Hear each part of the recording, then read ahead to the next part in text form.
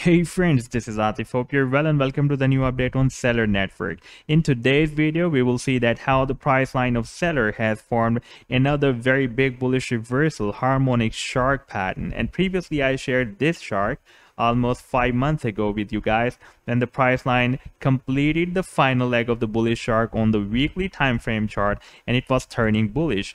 And this was a chart and I told you guys in this video that the price line has found a very very good support here. And after getting bounced by this support it is turning bullish and it will be a really very big move.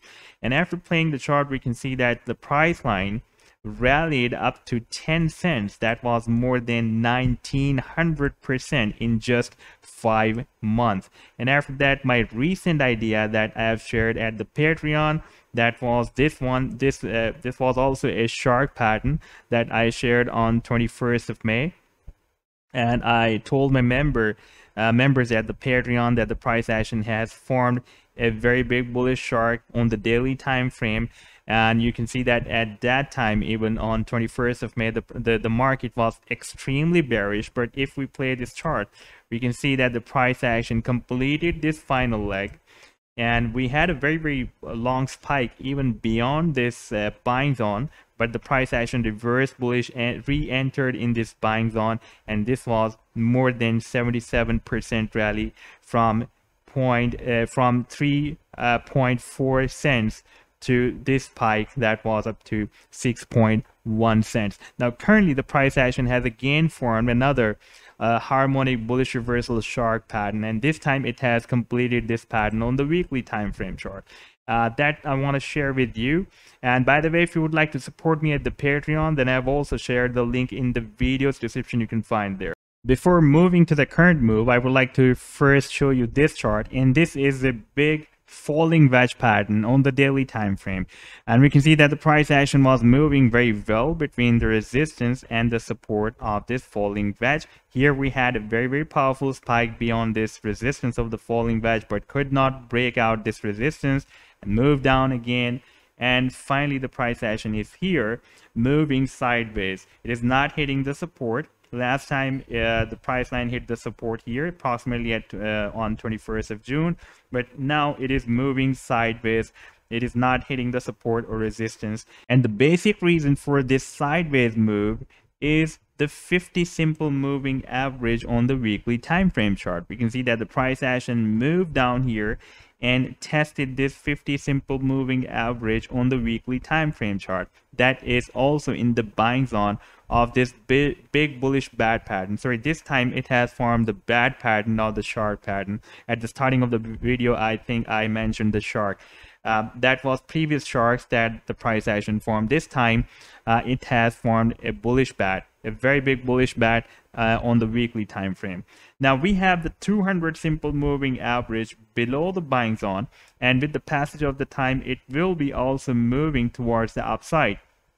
At this time, it is out of this buying zone, and soon it can enter in the buying zone to provide the support to the price action. And we can see that we have this 50 simple moving average that is not letting the price to completely enter in the buying zone. Same as like the Bitcoin is having very, very a nice support of the 50 simple moving average on the weekly time frame chart. And we can see that whenever the price line is moving closer to this 50 simple moving average this is the bitcoin weekly time frame. And uh, we are having uh, weak spikes of the bearish candlesticks. You can see that the bears are very weak at this level. Now currently the price action has again moved very close to this 50 simple moving average. And you can see that the bit uh, bitcoin on the bitcoin weekly time frame chart the 50 simple moving average is at $31,800 and the price action uh, has uh, spiked up to uh, $32,248. That is very close to this with 50 simple moving average. Sometimes it is hitting the 50 simple moving average only uh, for one week. It has hit the uh, 50 simple moving average here.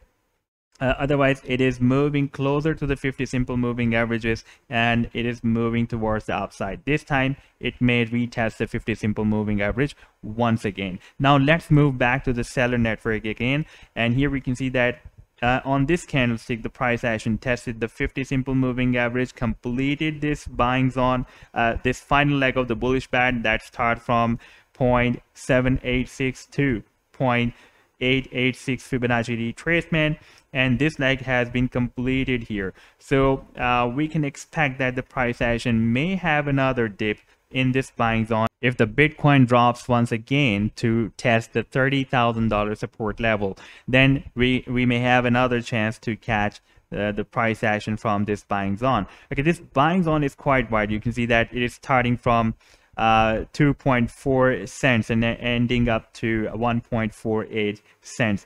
So we can set our stop loss as 50 simple moving average or if this 100 simple moving average will be moved in the buying zone, then we can also set the, uh, the stop loss use this 100 simple moving average as our stop loss to minimize our risk because this is the Fibonacci retracement, the Fibonacci calculations as per this uh, bullish bat that I'm sharing with you. However, if the buying zone is quite wide, then we can also use some other support levels. For example, here uh, we have this support, very strong support of 50 simple moving average on the weekly time frame chart. And soon this 100 simple moving average will be also moved towards the upside. Now, the sell targets as per the Fibonacci sequence of this bullish bat can be uh, from $4.88, uh, 4.88 cents to 8. 48 cents. But i'm expecting higher than this target as well because at the same time we have already seen that the price action is moving in this falling wedge pattern. And if the price action will break out this resistance of the falling wedge then our target can be the tail of this falling wedge that is approximately at 9.5 cents here. This can be our target. And if the price action will hit here definitely it can also uh, try to make another attempt to break out this final resistance of 9.5 cents. You can see that this is the highest price ever in the history of the Stellar network as per Binance Exchange and it can move towards the up upside to make another higher than the previous high. So this was the update so far. I hope that you have liked the video. Then do hit the like and do subscribe to the channel as well. And if you would like to support me at the Patreon for more ideas, then I have also shared the link in the video's description. You can find there. Take care. Goodbye.